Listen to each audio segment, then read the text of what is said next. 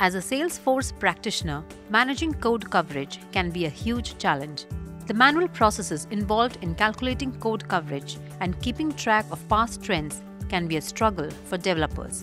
Have you ever wondered if there is an efficient way to measure code coverage early in the software development lifecycle? If there is an easier way to manage code coverage across environments all in one place? Presenting Code Coverage Manager application from Infosys. Code Coverage Manager from Infosys manages code coverage for organizations effectively. The app enables the following provides a graphical view of coverage levels and categorization of components by coverage percentage, establishes code coverage trend over a period of time, provides email notification of code coverage along with code coverage report, tracks code coverage of entire Salesforce organization as well as for a custom group of components.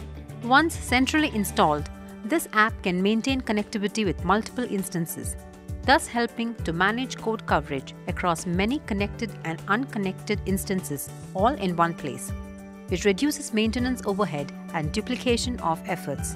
The code coverage details can also be exported with a single click for offline consumption and planning. This app can be installed in the production instance or in a sandbox. Once installed in a sandbox, a one time setup of remote authorization against the target instance enables easy remote execution of test class and subsequent extraction of code coverage. With Code Coverage Manager app from Infosys, managing code coverage becomes greatly simplified and proactive, thus reducing delivery risks and enabling organizations to stay on par with code coverage requirements.